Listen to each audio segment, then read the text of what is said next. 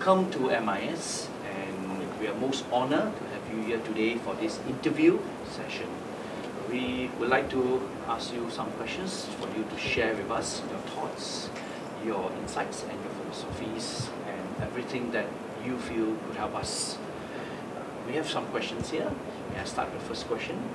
Uh, consumers' need for diverse products has resulted in product life cycles becoming highly volatile and unpredictable over the years. What concepts in marketing will assist marketing community to accurately predict life cycle movements and response more effectively? The only way you can predict in a highly volatile market with the diversity also of consumer needs, wants rising, and as you know, society is becoming very individualistic not even a family oriented. It's like each individual consuming on their own. The only way to manage is experimentation in the field. So you have to constantly experiment and constantly learn from the feedback. That's one mechanism. Second mechanism is with the rise of social media, we have to become more a listening post. So how do you organize a company that is having a continuous listening from the marketplace because social media today really broadcasts much better than print media or television ever did. Word gets out, both positive and negative. So watching that and constantly adapting is the only way out. There is no other way one can manage in a highly volatile and highly diverse emerging consumer economy. Uh, Prof, may I ask about social media? Um, this is taking the world by storm, Yes. and uh, many organizations embarking on it, uh, perhaps some at expense of traditional media. Correct. What's your take on this? Uh, there is no question that social media will become a substitute for traditional media. Anything that's peripheral, when it becomes core medium, core medium becomes peripheral. Always the rule. So when we had the print media at one time, when television came, print became almost peripheral. Now social media is coming, which means television would be very specialized, very specific reasons you would use it, like big events, sports events, for example, the football, you know, the World Cup or something like that. Social media will become more universal. So my view is that there's a clear substitution. And if you talk to packaged goods companies, they're already shifting the dollars they want to spend more and more on social media. That's a very interesting comment you make about television being very specialized in media. Right. Yes, and with um, technology changing so rapidly, how should organizations manage this? Very interestingly, uh, back to, and I'll come to the technology, what we have seen is interesting. The biggest way to watch the print medium is highly specialized magazines. Used to be one general purpose magazine, that's right. you know, like a look, look or a Time magazine, you know, Life magazine. Uh, today you see niche magazines taking over the market, very specialized, right? That's right. So that's clearly what's going to happen. Uh, technology in companies is like breathing air. In marketing, it is much more strategic to understand because the chief marketing officer is now having the budget. 40% of all the IT spending in a company is no longer with its chief information officer, but it is now with chief marketing officer, which means chief marketing officer has to be technically understand to recruit the right set of agencies which are in social media, to understand the power of social media for their own brand, not only brand patronage, but brand alteration. Yes. Consumers are going to take liberty with the brand, Yes. and therefore brand stewardships that we used to teach, making sure logo remains the same, etc., is no longer possible. Right. So how do you then make sure that your brand is not altered into the way consumer would like to express? Consumers are becoming co-creators now. Yes. Isn't that that's right. interesting? Yes. And they want to co-produce with you Right. your product by and That's large, right. your brand, your packaging. It's very fascinating. One additional thing related to that is that I think today what Frito-Lay has done American football is a big event, Yes. and they are now asking consumers to produce commercials. Hmm. That's It's very much crowdsourcing, Yes. and some of those commercials are world class Yes. because you know you may have 100 commercials, out of which you can select two. An ad agency cannot make 100 commercials that you can choose that's two. Yes. So all of a sudden, it's a very low cost, very imaginative, very creative way of getting consumers to do work for you. Yes. So consumers are your best marketers. That's right, yes. With the um, advent of uh, Web 4.0 right now and over the years, it's really taking marketing to a higher level of standards. And uh, it's something certainly many marketers cannot ignore altogether to be successful. Totally Yes. right. Yes. Yes. With that in mind, uh, Prof, can I ask you the next question, which is, uh, what do you see as the biggest change in marketing over the years, and what future mega trends will derail current and predominant marketing concepts? Yes.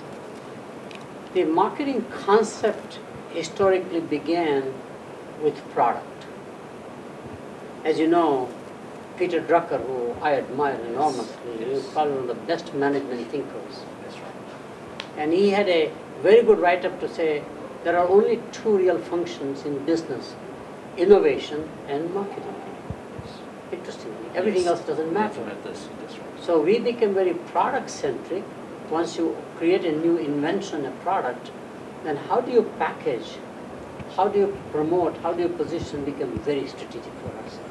Marketing added value to that product, which may be functionally very good, but now you add emotions. Yes. Automobile. You can have a Model T, black, very basic, but you can have very exciting automobiles you can make, right? So in Right. addition to Yes. functional performance, you have an emotive bonding, which is what marketing does very well. Hmm. Engineers add value in the product. Yes. Marketing adds value by associating the product with a celebrity, with a lifestyle, whatever it is. So marketing creates value by association. That's right. I have, we have moved away from that. Marketing used to be promoted on a ingredient in a product, Right. secret recipe of Coca-Colas or Tiger, you know, beer here, for Yes. example, Tiger Balm, definitely. I mean, I'm fond of Tiger Balm even today, That's right. Despite all the modern medication, Yeah. which is interesting. It has a secret ingredient, you promote right. the ingredients. Yes. Then we began to promote actually the functional value of the product. What benefit does consumer have? That's right. The next major evolution in marketing is that does marketing serve a purpose in society Right. through consumption? Mm. Consumers are now looking for everything in their life a meaningful consumption. So what we call, and I'm working on that one, is purpose-driven marketing.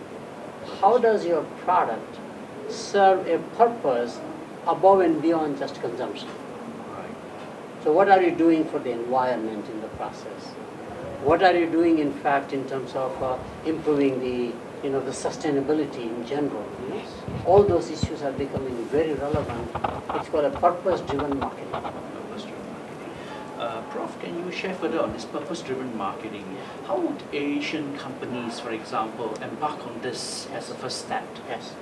Uh, I think purpose-driven marketing is even more appropriate in the Asian culture because we are not as capitalistic as America is. America is uh, what I would call raw capitalism, right? Yes.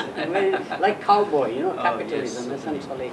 We still believe in balancing the institutional well-being along with the individual uh, right. pleasure and consumption. Sure. And given that balancing between institution and the individuals, whether the institution is a family, whether the institution is education, government, I think purpose-driven marketing becomes actually the DNA of the Asian culture. Right. Sure. It is in our DNA, except we have not linked it properly mentally, or does not have a planning process, a marketing planning process, where one embeds that purpose, and it will resonate with people much sooner in this country than it would have resonated in America. Um, this is a very interesting concept you have brought up, and uh, can I ask if this applies to very small companies who are small setup? In fact, in our research on this one, we have a book called The Firms of Endearment. Originally, it began by having, you know, we fight for market share. Yes. Then we shifted to share of wallet, relationship Yeah. marketing. And once that became a CRM, data analytics and all that, I told my colleague that the next major competitive advantage or a differential advantage will be share of heart. How do you win the share of heart of your Mm. customers? But then the book actually became more about the company, not about a product or a brand, called Firms of Endearment. And there we found that companies that are driven by passion and purpose financially outperform companies that are only shareholder driven. So if you are stakeholder driven, not only customer oriented, but employee oriented, supplier oriented, community oriented, you do better for your shareholders than being strictly shareholder driven, which is absolutely non intuitive. Mm. That's where I learned that the best companies are small boutique companies who blend the purpose with marketing. So Patagonia, New Balance, they're all Right. family run businesses. That's right. And Singapore and Asia is all family run businesses. So it's much easier because as a family, you know that you have to live in the community. Mm. A large corporation in a big city when we live in a gated community, whereas some of the best purpose-driven companies are family-owned and their headquarters are in small towns. I see. Because in small towns, every Sunday church is a great equalizer. Yes. You are no longer the boss, there's a bigger boss than you, Yes. which is God, Yes. which is interesting. and your managers live next door to you, they're your neighbors, their children play with your children. So you have this huge informal relationship with your employees that you would not have otherwise in a large metro city downtown. So I do believe that it really begins, this purpose-driven embedded purpose is much more in the smaller companies. And in fact, they gain popularity because of that and become big businesses. I see. That's very interesting comment and in fact insight into purpose-driven marketing companies. Can I ask uh, from here, what new age marketing trends will influence future marketing programs and cause a radical shift in the way marketing is applied in the industry? Yes, there are three changes, most of them coming from technology. First one is that today what we have is a demand-driven procurement. Yes. If you take a traditional bookseller, the bookseller will order the books, anticipate the demand, That's right. will keep it in inventory either on the bookshelf or in a warehouse someplace. Today Amazon is just the opposite. Yes. They don't even stock anymore. That's right. It begins with order that comes in online. right. So online marketing is the biggest change in paradigm, Yes. reversing the whole flow Yes. where demand generates supply chain, not manufacturing, which That's is totally right. radically changing. That's right. It is very efficient, so Cisco systems, uh, Dell computers. In B2B, all orders are now online, That's right. no paperwork. Yes. And therefore, just in time becomes very important now, right? That's right. fulfillment cycles get shorter and shorter and Yes, shorter. yes. There is no slack Yes. time. So that's clearly one major impact of technology. That's right. Second impact of same technology has been the uh, going into the smartphones. And smartphones getting you into all these applications, including social media. That's right. So Facebook, Twitter, etc., are making a huge paradigm shift for marketing function, more so than any other function, which is interesting. So I believe that social media as a second component of technology is very powerful. The third component of technology is that technology begins to reduce the silos, which are functional silos, or product silos, or geographical silos. So today this technology makes an integrated enterprise. Right. So a chief marketing officer for product A in Singapore, another chief marketing officer for product B for the same company, Hong Kong, a third one based in London, wherever, they are now on a real-time communications. How does That uh, sorry interrupt you, Professor. Um, how does that apply to the service industry? Service industry, the use of technology is even more necessary. Because in service industry, you always have a co-production between the consumer and the producer. Right. And in co-production, technology enables much smoother, much easier way of doing things. Without technology, it is much more uh, manual, inefficient, quality assurance. So you think about the hospitals, you think about the hotel, motel, hospitality industry, which are all services, airlines. Mhm. Today, I do my own reservation. Yes, that's right. I pick up my own, you know, uh, boarding gate ticket, Yes, for example, right. right? I mean, everything is online where consumer is co-producer with you, right? That's right. In services, that's very important. That's right. Second reason it's very important is that services are perishable. That means you cannot store the capacity. That's right. And technology enables you to use that capacity you have at that point in time much more than a non-technology based organization. So it's much more important. Yes. Can we now turn to China? Sure. And do you think that um, their current efforts to embrace marketing will make it equal to the US as a marketing leader of its brands? I personally believe that China will not only equal in marketing and branding to America, which is the gold standard, but will surpass. And the reason is that China, like Japan, learned how to produce very price sensitive products, low cost, low price products, and is moving up to luxury. China is the largest luxury market in the world. It surpassed America. Yes. China is the largest e-commerce platform. Yes. It surpasses American e-commerce Yes. platforms. That's right. So I do believe that branding aspects the Chinese will learn from the rest of the world, German brands, American brands, Yes. etc., and actually improve on them more Yes. and make it even better. So I think it's a matter of time where we will admire the Chinese brands Yes. as we admire the Japanese brands and the Korean brands. Yes. That's right. Today Samsung, everybody respects, just like they do with Apple. That's right. Uh, today Toyota is as respected, especially Lexus, the luxury brand, as any luxury brand in the world. Yes. I think the Chinese brands will come out the same way, one very value brands and luxury brands. But I personally believe that China will excel in luxury brands, opposite of what we think. And uh, in your opinion, how long do you think if, um, it will take before we see such development and achievements from China? Yes. I think the timing for China's evolution as a marketer of world-class brands is just at the tipping point.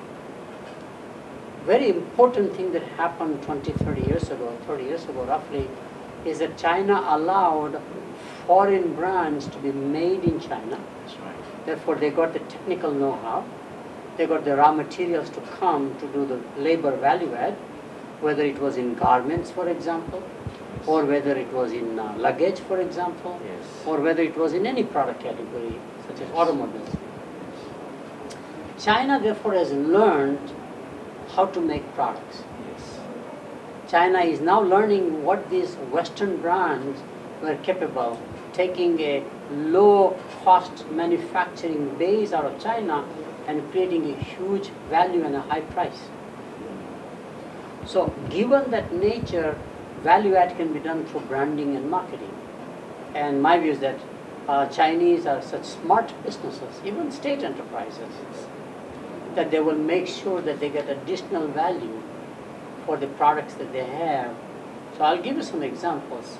In a B2B environment, business to business, Huawei Technologies is now much more admired by all Western telephone companies as they used to admire Alcatel, Lucent, Ericsson, Sony. Huawei today commands high respect. So they deliver something that is an absolutely superb, exceptional uh, performance Yes. for wireless networks. Yes. Uh, China is very good in railroad buildings. Right. People don't think so. In the industrial markets, Chinese brands are already highly respected. Yes. Now come to the consumer side, where they are just gaining that momentum to create by putting more effort on the proper marketing side. So Haier, which is in appliances, they will become like Electrolux. Yes. They'll become like Whirlpool. And automobile makers the same way. I mean, it's mind-boggling to see how much Chinese are now learning to really invest in branding and make for value add much more for the products they make in China.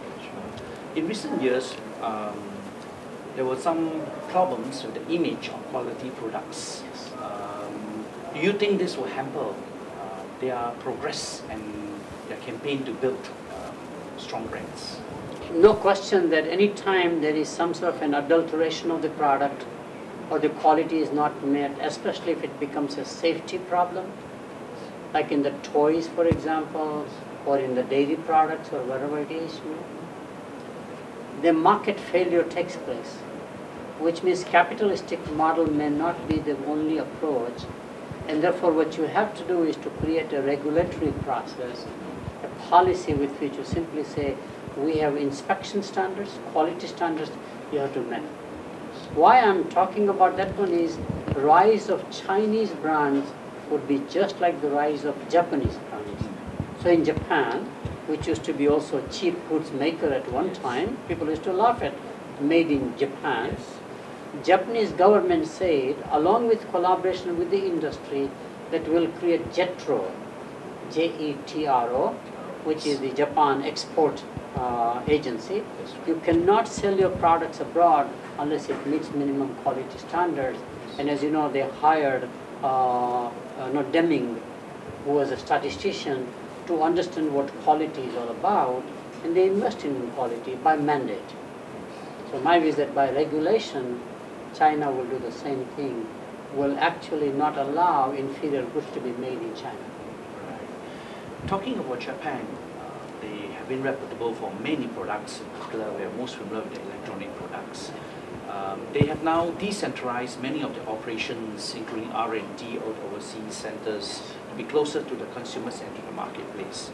In your opinion, do you think that will impact on the reputation of Japanese brands? The answer is yes and no. Sony suffered from that as a Japanese brand when they tried to make products in Malaysia. It's not the assembly that you do in many of the consumer electronics, it is the component maker. If you just assemble and import components from Japan, it's okay. But they started buying locally. And there's no quality assurance in the upscaling supply function, which is the most critical one.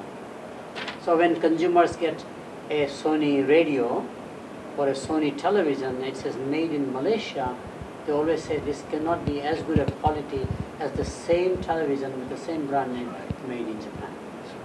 And this happened with cameras, for example. Uh, this almost happened with the automobile sector. Yes. What nice thing happened, therefore, is that if Japanese companies are serious about distributing their R&D, advanced country to advanced country works very well. So when the Japanese car makers went to America, they didn't have quality problem. Yes. Because America was already having quality assurances. Product safety laws, for example, emission control laws, you know, all this stuff were put by regulation as well as by market process. So I think going to other advanced countries would be less difficult.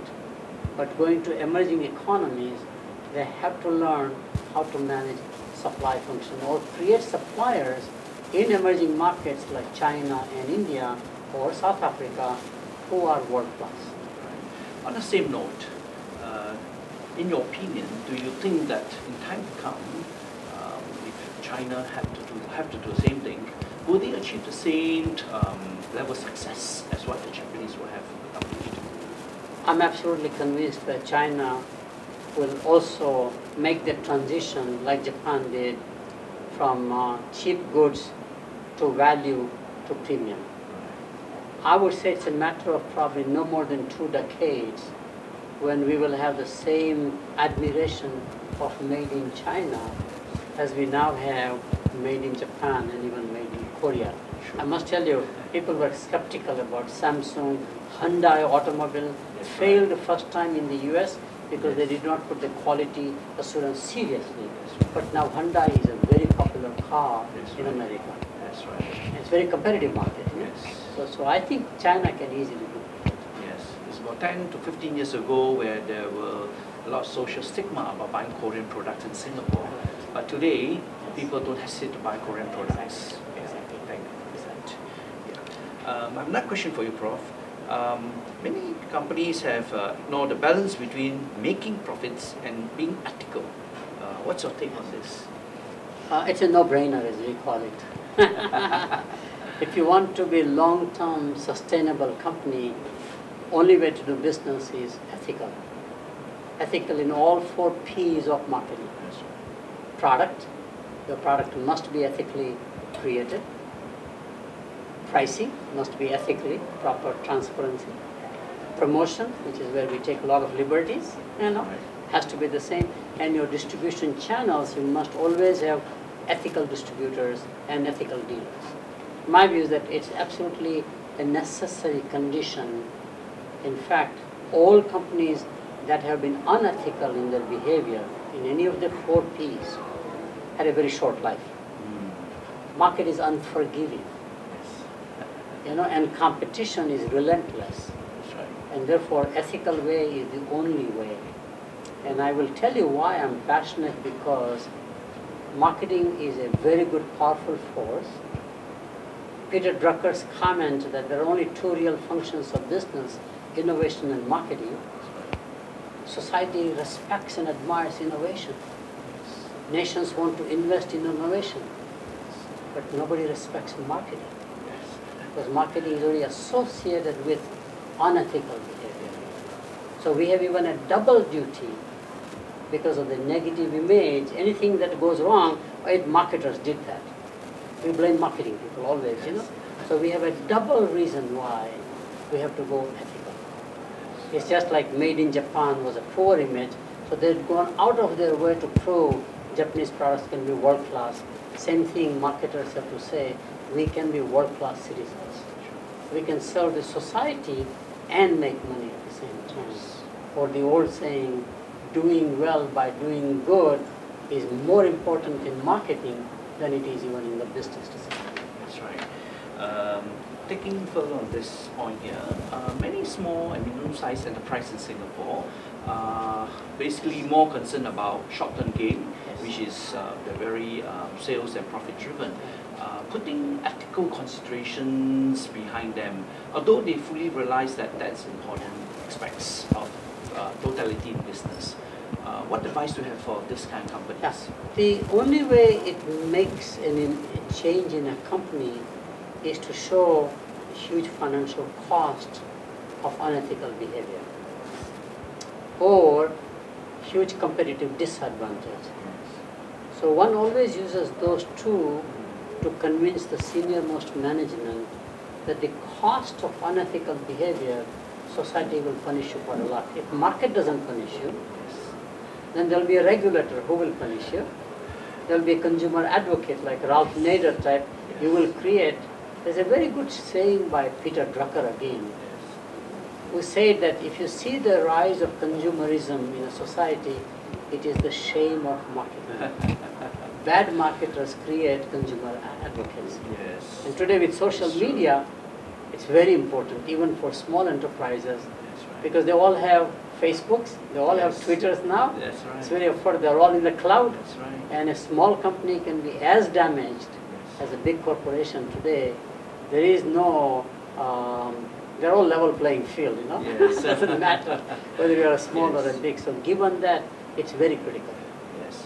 That's very inspiring advice actually to a lot of uh, SMEs and uh, something which they should seriously consider. Right. Um, can I move on to uh, back to subject of branding again? Yes. And um, in fact, we are encountering more and more non-US companies in the top 100 most valuable global brands on the 2014 list. And uh, what key lessons can we learn from a mix of non-US to US brands that are entering and exceeding the least given the fact that more and more companies are investing in branding of products, services, experiences? I think generally inventors and entrepreneurs underestimate the power of marketing and branding. So one has to increase their awareness through either experimentation or through some clinical evidence by and large. Let me give you an analogy. Turkey as a nation decided that great domestic brands and in prelude to becoming a part of European Union, where the biggest market will be Europeans and therefore French and Germans, they had to show that Turkish brands are world class. So the government actually created a brand assistance agency and they would select so many brands which are world class but only domestic and give them an executive MBA program to train their managers on branding. Hired a consultant, one of the best ones, Jack Trout, who along with Al Ries for the positioning the battle of mind, we asked him to be a consultant, how to implement action-oriented. And today some of the Turkish brands are highly admired in the Western world. Singapore has a similar situation. There are some very good brands, but there is no scale because Singapore is a small town. What has Swiss done, Switzerland has done for their brands and watches? They only think global up front. That's right. So Singapore brands, if they think global as their arena to play, not just local, even though 80-90% of the business may be local, it's a global mindset, suddenly changes everything. And I'm told, uh, I know I love Tiger brand Yes. for balm, you know, for, for headache remedy. Tiger beer, which is now partly owned by Heineken. That's right. They have told me that Tiger beer will become probably number two or number three brand in the world. Isn't that interesting? Yes. So somebody from abroad sees the value of your brand and we don't see it, right? But there are quite a few good brands here. Singapore Airlines is a That's world right. brand. Yes. Uh, many of your uh, infrastructure companies like Changi Airport is a world brand in the whatever it is. Uh, even I would say Singapore Seaport Authority is considered a world class, like Rotterdam Seaport is the same way in their sphere of customers. Uh, but some little brands are more interesting. Mm. I don't have experience personally, but somebody told me that you have a good hospitality brand called Banyan Tree, That's right. Yeah. much more very boutique, Yes. managing that, you know, how do I serve the society while I make money, right? Yes. Purpose driven. Yes. So they give livelihood into places where they have created. Yes. It is already a very interesting brand, and I'm very curious to know more about them now. Yes. Then you have a brand I was told, talk, uh, BreadTalk. Bread talk. Interesting. Yes. I don't know much about that one because I don't eat bread Yeah. anymore, Yeah. which is interesting. But BreadTalk has a great reputation. So if you have a good domestic brand reputation, especially from an advanced country, it has actually a global market opportunity. So in the old days, we used to say globalization, think global, act global. Then we said no, think global, act local, local. I have been now creating a whole new paradigm. It says think local, act global. That brand has an enormous value outside of the market in which you survived and succeeded. And that's what Singapore has to learn. Yes. Um, Singapore being a small country and um, basically making a lot of small businesses, um, how long and how much investment um, in terms of resources do you think these companies will need to really grow their brand? I think it has to have, surprisingly, in marketing, we have never thought of public private partnership. As we do in infrastructure immediately. I think branding is a public private partnership, which means government says, I have a vested interest in my native sons and their branding effort, and how can I invest in them and treat branding as an investment proposition for the nation? Because the soft power of a nation comes through its brands.